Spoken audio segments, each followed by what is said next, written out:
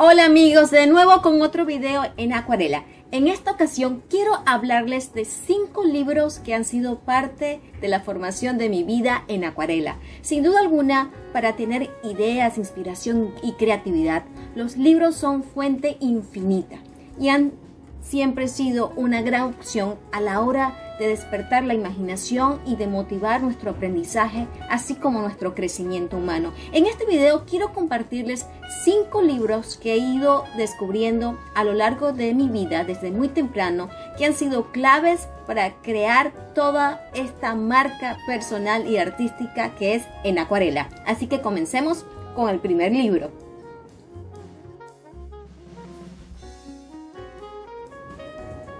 De pronto vio frente a ella un camino y al final del mismo había una luz brillante. Seguida por todos los animalitos del bosque, Blancanieves caminó hacia la luz hasta que se encontró estando frente a una casa muy pequeñita y bonita. Pues sí, estamos hablando del clásico cuento de Blancanieves y quiero compartirles que desde muy pequeñita tenía un libro con este maravilloso relato con las ilustraciones de Walt Disney que seguramente habrán visto ustedes en alguna ocasión. Y ese libro despertó mi imaginación. Por ahí tengo también fotografías donde con una contraportada rosada andaba por toda la casa con el libro de Blanca Nieves. Pero ¿por qué es importante tener un cuento, un relato favorito? Se los cuento a continuación. Con los cuentos sucede lo mismo cuando te enteras de una información, de una noticia, de un relato, que lo puedes repetir de principio a fin y piensas que ya los conoces, pero pierdes la riqueza del detalle. Y ahí es donde yo creo que Blanca Nieves de los hermanos Green ha sido siempre pieza clave para la creatividad, porque es la historia de muchos contrastes, es la historia de un padre que no supo escoger una madrastra, una nueva madre para su hija. Es la historia de una joven muchacha con muchas habilidades, con la capacidad de organizar una casa, con la capacidad de alguna manera de hacer que la naturaleza la pudiera ayudar. Es la historia de la bondad, es la historia de siete enanitos, de siete personalidades que en conjunto pudieron entender a una muchacha que apenas conocía, cosa que no pudo hacer una reina, que se le había dado toda una oportunidad de una nueva vida y solamente tenía que querer a una joven princesa. Es la historia de un cazador valiente, es la historia de un corazón que se reemplaza para así no tener por qué entregarle a la reina el corazón de una inocente. Es el relato de una mina de diamantes, de una cabaña en el bosque, es el relato de una mujer que desciende a un sótano, a un cuarto oscuro o secreto donde tiene un laboratorio y donde tiene también un espejo mágico que todo lo ve y todo lo sabe. Es la historia de una manzana envenenada. Es la historia de un beso de amor con una promesa de volver a la vida. Es la historia de un príncipe que aparece al final. Quizás aparece al final porque desde un principio no nos preguntamos quién era el padre de Blancanieves. En fin, es la cantidad de detalles que podemos obtener lo que hace rico el relato de un cuento y lo que realmente trae a la vida un cuento de hadas en épocas que incluso pensamos que ya no tienen un valor. Para mí, en el inicio de la lectura, lo que captó mi atención fueron las bellísimas imágenes que interpretó Walt Disney a través del relato de los hermanos Grimm de Blancanieves. Pero también descubrí que así como las letras se podían convertir en imágenes, también entendí en el camino de mi vida que las imágenes podían inspirar a las letras.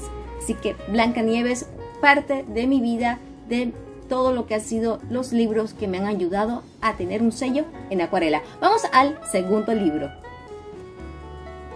Les fue fácil reconocer de dónde venían las voces. Eran turistas conducidos por un guía extranjero. Pero la mano negra observaba con atención. Cuando el grupo llegó ante la estalactita, la nariz de la bruja, Rollo se sobresaltó. Ha desaparecido un turista. Adela examinó atentamente al grupo. Es cierto, dijo, e incluso sé lo que llevaba en la mano. Pues este segundo libro me llegó de la mano de mi hermano y se llama Las aventuras de la mano negra del escritor alemán Hans-Jürgen Press. Realmente esta es una lectura fascinante porque combina un buen relato detectivesco con un poder gráfico inigualable. Es la pandilla, el grupo de jóvenes, de unos chicos que son detectives, que se apodan la mano negra y que van detrás de diferentes pistas para resolver el caso. Lo interesante de este libro es que es interactivo. Con cada texto, con cada relato, hay una serie de imágenes insertadas ricamente ilustradas que te van a permitir encontrar una pista, así como en el extracto que acabo de leer, te dan una serie de descripciones para luego hacerte una pregunta. Y tú tienes que observar esa imagen y encontrar la pista o encontrar la huella o encontrar por ejemplo la diferencia que hay entre una imagen y la otra. Y así en las siguientes páginas encontrarás la respuesta a esa pregunta como una secuencia. Pero tienes que leerlo todo de corrido para que las gráficas o los dibujos tengan sentido entre el texto previo y el que continúa dándote así la solución. Las aventuras de la mano negra. Realmente eh, es un nombre también bastante interesante porque a veces pensamos que, bueno, el sinónimo de la mano negra es que alguien está ocultando algo, pero estos chicos lo que hacían era todo lo contrario, eran descubrir lo que estaba pasando. Es un encuentro con la lectura, el dibujo y la ilustración de una manera muy especial es un libro que le asignaron en la escuela a mi hermano tiempo atrás, mucho tiempo atrás, y a mí nunca me tocó hasta que él me lo compartió y lo pude conocer. Si realmente te gusta la nota de activismo, quieres darle la lectura a una persona joven y también conoces de alguien que le gusta las ilustraciones, esta es una combinación perfecta. Por eso es que es mi segundo libro en acuarela. Pero en este camino siguieron apareciendo más libros y más personajes, así que vamos al tercero. Fue una cena esplendorosa, servida en una instancia más esplendorosa todavía.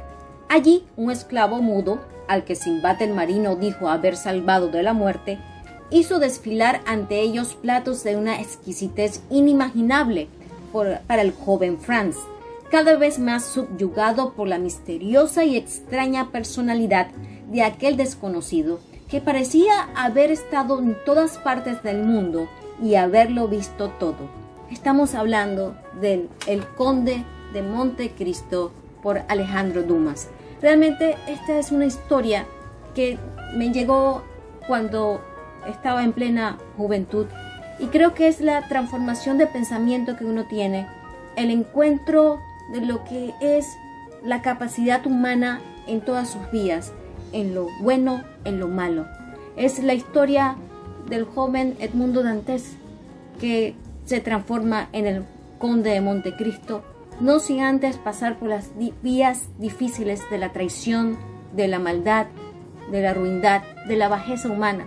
Es la historia de la transformación, es la historia del poder que tiene, yo creo, la unidad, lo que tiene también el poder de la fuerza del espíritu para continuar. Lo que más me gustó de este relato, que ha inspirado también tantas versiones, no solamente cinematográficas, es una estructura de historia tan buena que muchas historias en sí mismas se han valido del Conde de Montecristo para reivindicar a personajes, para traerlos, yo creo, a escena muy poderosamente es la interacción del bien y del mal en su mayor esplendor. Pero creo que para mí la transformación de Edmundo Dantes en el Conde de Montecristo te demuestra esa capacidad increíble de lo que es una persona que llegó a caer en lo más oscuro, producto de la traición humana y convertirse en un conde. Realmente eso es algo que pone a soñar a cualquiera pero también te demuestra, a pesar del lado fuerte e intenso que tiene, esa capacidad del ser humano de sacar la mejor versión de sí mismo.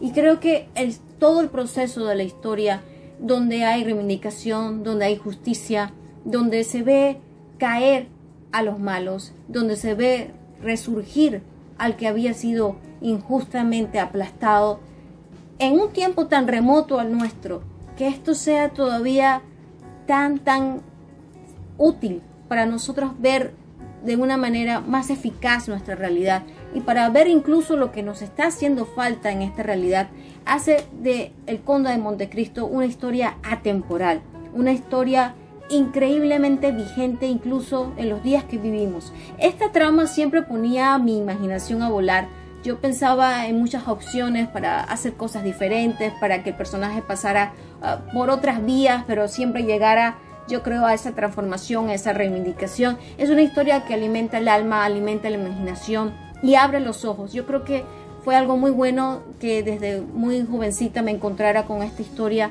porque es realmente el descubrir la capacidad del ser humano en lo bueno y en lo malo. Y sobre todo que el conde de Montecristo más allá de una transformación física, tiene una transformación donde no pierde su parte humana. Y eso para mí fue la grandeza Conde de Montecristo inigualable. Vamos al cuarto libro.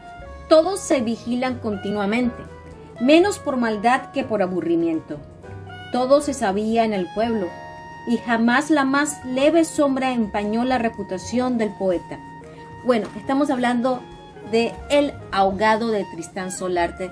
Si los anteriores libros me dieron la nota de fantasía, de soñar, de los detalles, del poder del detectivismo, del poder del drama y de las emociones humanas, este libro me dio la nota de misterio, la nota de intensidad.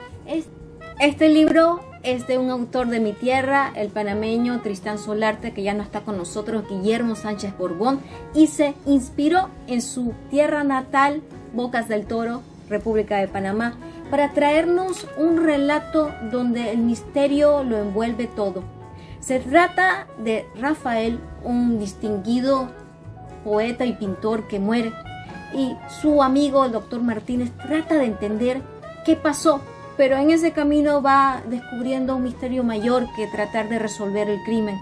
Se encuentra con que hay una doble personalidad alrededor de Rafael. Una personalidad que hace que él en su pueblo, en Bocas del Toro, sea un hombre ilustre, con una excelente reputación, mientras que lo que él va descubriendo de su amigo Rafael, que ya no está en lo que hacía en la ciudad capital, era realmente inimaginable. Era como si fueran dos personas muy distintas. Esta intensidad de misterio que sucede en una pequeña población donde todo el mundo se conocía, un doctor que tiene que entender ante qué está él de alguna manera enfrentándose y el manejo de una de las leyendas de nuestra cultura, no solo panameña, sino también latinoamericana, la tulivieja. Sé que en otros lugares le llaman la tepesa, en otras partes la llorona, como marco psicológico de uno de los protagonistas, de Rafael, hace que tomar la cultura latinoamericana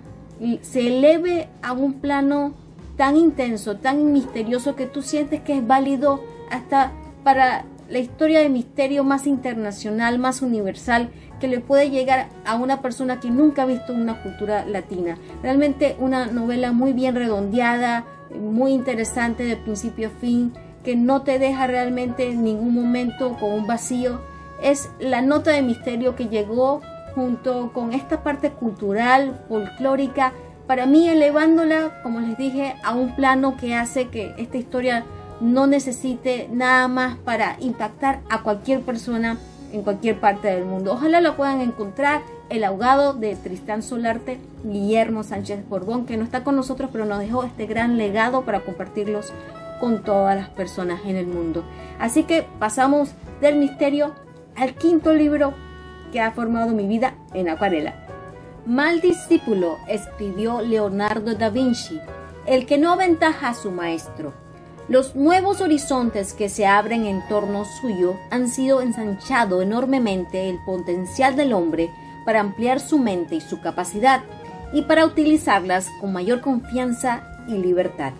Este es el libro Historia dibujada de la arquitectura occidental de Bill Ricevero. Es un libro que resume ciertamente los temas, las cosas más importantes de mi vida. Historia dibujada de la arquitectura occidental. Me encontré con este libro ya cuando iba a tomar la decisión de qué carrera eh, eh, tomar, en qué profesión desarrollarme. Sin duda alguna, este título tiene las tres palabras ejes de mi vida profesional. Historia dibujada, que es todo lo que tiene que ver con arte, y arquitectura, que es mi profesión.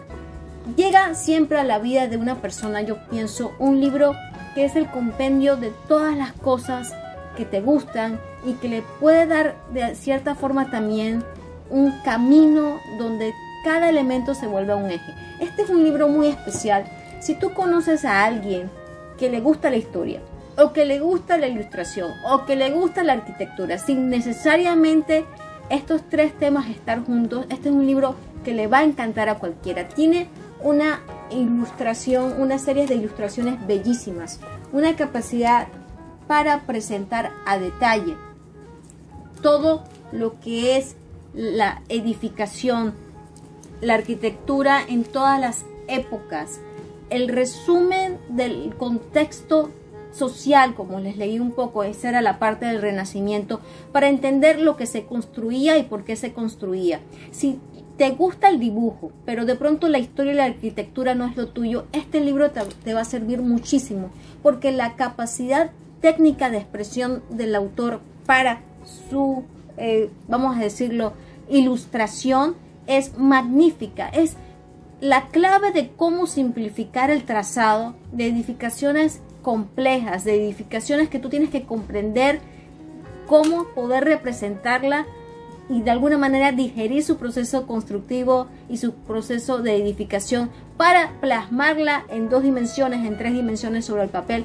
El lenguaje gráfico que tiene este dibujo es realmente magnífico porque es de una sencillez y a la vez de una capacidad de relato que encantará a personas que le gusta la arquitectura como a personas que de pronto ese no es su tema principal. Es una muy buena fuente de introducción y de información. Si te gusta la historia, si te gusta una, eh, una recopilación de diferentes épocas de la civilización humana, este libro también lo debes tener. Si quieres regalárselo a alguien que quiere un libro, por ejemplo, para tenerlo como un libro de mesa de centro, un libro que puede tener en su negocio, en su oficina, para que sus visitantes sus clientes lo vean. Este es un libro increíble. Si tú estás buscando una carrera o sabes de alguien que está buscando una carrera, historia dibujada de arquitectura de Bill Ricevero, es realmente poner a volar la imaginación de las personas en esos tres grandes ejes, la historia,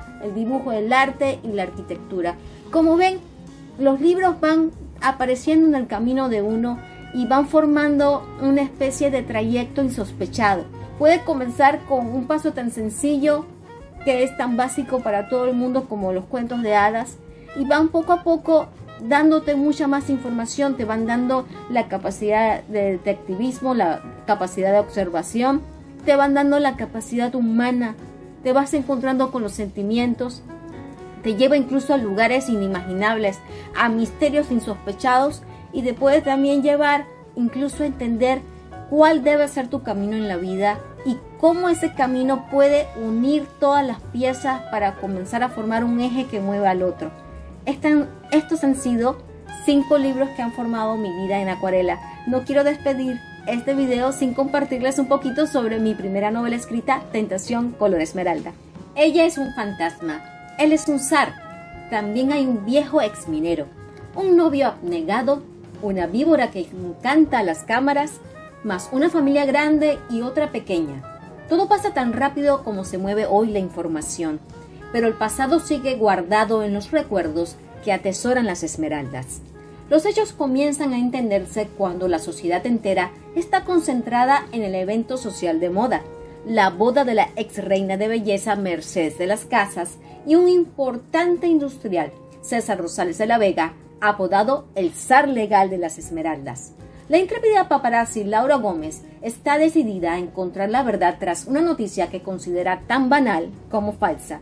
Tentación color esmeralda, mi primera historia escrita, una nueva serie de libros en su primera parte búsqueda. Esta es la serie premier con los 55 capítulos de esta primera parte y lo que les leí es parte de la contraportada para que puedan conocer un poco más de la trama. Van a encontrar este primer libro de la serie, tanto en su versión física o impresa como en su versión electrónica. Y también tenemos otra modalidad de dividir en dos tomos, en dos volúmenes, esta primera parte, a la cual le hemos llamado la serie expresa con búsqueda 1, capítulos del 1 al 28 y próximamente búsqueda 2 con los capítulos del 29 al 55. Les voy a dejar los enlaces para que ustedes puedan conocer este nuevo proyecto ya que les he compartido 5 libros en mi vida en acuarela que me han dado mucha inspiración, muchas ideas, mucha creatividad y que ahora lo he plasmado todo en este primer proyecto literario Tentación Color Esmeralda. Quiero que sean también parte de él. En el canal van a encontrar videos hablando sobre la trama de esta novela y haciendo un análisis de varios detalles para que también puedan sumarse a esta aventura. Este es el canal de Melissa G en Acuarela. Soy Melissa Guardia y quiero reiterarte que te necesitamos para seguir construyendo nuestra comunidad de videos. Vamos a tener mucho más arte, cultura, creatividad, inspiración, todo aquello que te ayude a tener muy grandes ideas ideas que puedas tú plasmar con tu propio sello personal, ideas que también te pueden a ti motivar e inspirar a ver la vida a través de los ojos de la acuarela. Melissa G en acuarela. No te olvides de compartir, de darle like o me gusta a los videos, de suscribirte y de seguir cada uno de los videos que vamos a ir subiendo. Visita poco a poco el canal, estamos poco a poco construyéndolo, pero te necesitamos a ti para que podamos continuar en este camino maravilloso. Soy Melissa Guardia y será hasta la próxima. Suscríbete, danos like, comparte los videos, síguenos en nuestras redes y encuéntranos en melisaginacuarela.com.